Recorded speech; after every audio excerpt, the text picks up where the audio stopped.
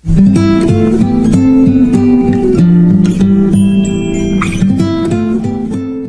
போன்ற பல பயனுள்ள தகவல்கள் அடங்கிய வீடியோக்களை தினமும் பார்க்க டெக்காக் தமிழ் என்ற யூடியூப் சேனலை சப்ஸ்கிரைப் செய்து கொள்ளவும். நண்பர்கள் அனைவருக்கும் வணக்கம்.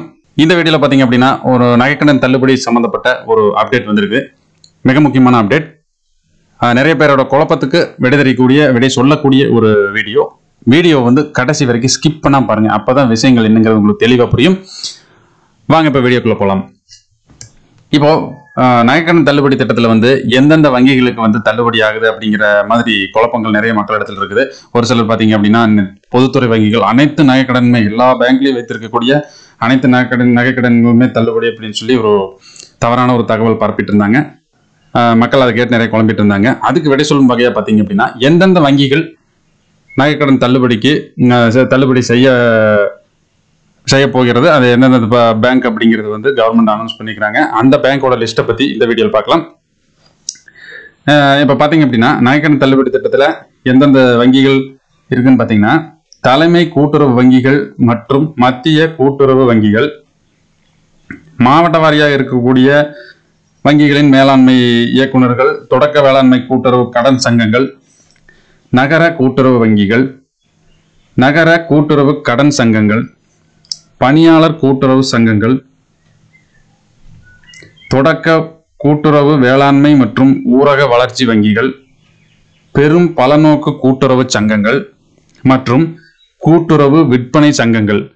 இந்த மாதிரியான வங்கிகளில் இருக்கக்கூடிய வங்கிகள் வங்கிகளில் இருக்கக்கூடிய கடன் தொகைகள் மட்டுமே தகுதியானவர்களுக்கு தள்ளுபடி செய்யப்படும். அது போக பார்த்தீங்க அப்படின்னா பொதுத்துறை நிறுவனங்கள் பொதுத்துறை வங்கிகள் அப்படின்னு சொல்லக்கூடிய ஸ்டேட் பேங்க் ஆஃப் இந்தியா இந்த மா இந்த லிஸ்ட்டில் வரக்கூடிய பேங்குகள் எல்லாமே வந்து தள்ளுபடி செய்யப்படாது. ஒவ்வொரு வீடியோலையும் நம்ம வந்து இதை மறக்காமல் சொல்லிட்டு இருக்கிறோம்.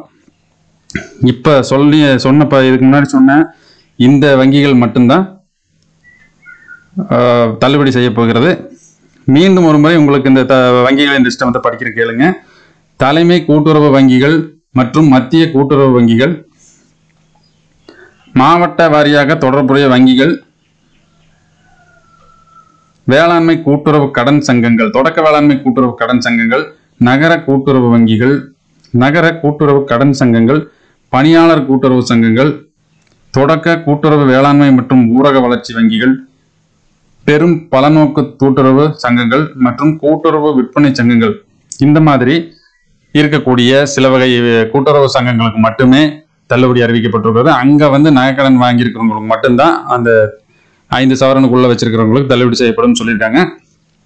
அதுக்கு உண்டான தகவல்கள் சேகரிப்பு பணி வந்து ரொம்ப வேகமாக நடந்துட்டு இருக்குது அது சம்மந்தமாக வீடியோ வந்து நம்ம போட்டுகிட்டே இருக்கிறோம். அடுத்த அப்டேட் ஏதாவது சம்மந்தமாக வந்ததுன்னா அடுத்த வீடியோவில் சந்திக்கலாம்.